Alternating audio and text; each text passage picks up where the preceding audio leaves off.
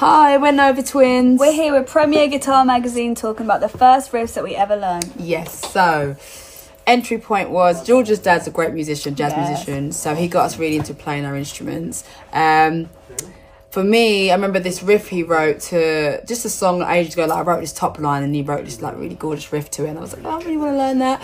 So I tried and I tried and I tried, and eventually I got it. Um, and I started off an acoustic guitar, which was a bit more at the time trickier. So then it was nice that when I started playing electric guitar, that I found it a lot more.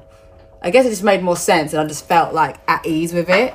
And then that kind of brought me into obviously Nova Twins, where we developed our own kind of like sound, which is very different to the kind of pretty ethereal kind of like ooh, stuff. But um, yeah, like I I loved it, and that was my entry point really. Nice.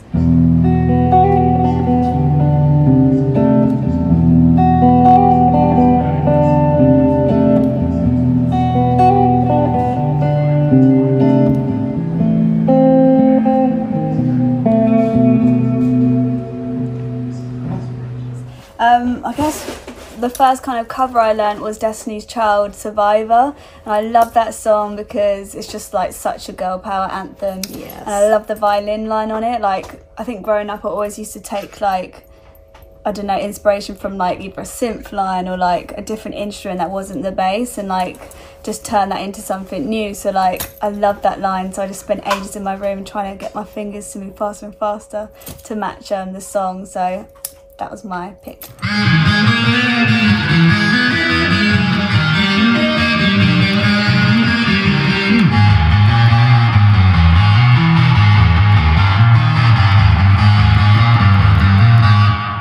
Yeah, we never really like learned a lot of covers. To be oh. fair, like I remember that's probably like one of the only Yeah. ones we've learned, and I haven't really done that either. But I think we kind of was in our little bubble of just being in our band and Writing, writing yeah. music, and I think a lot of our.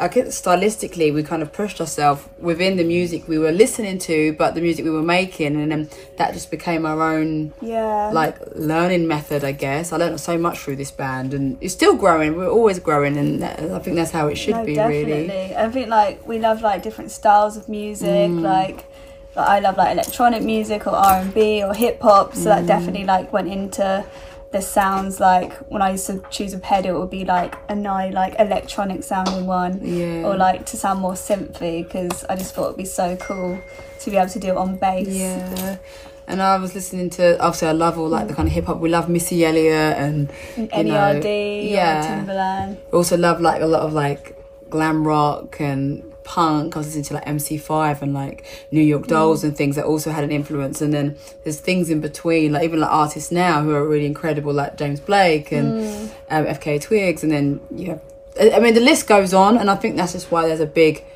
like mesh of sounds yeah. in our music which is great because we get to take our pick from a lot. Um but yeah so that's where we started and we hope you enjoy our first riffs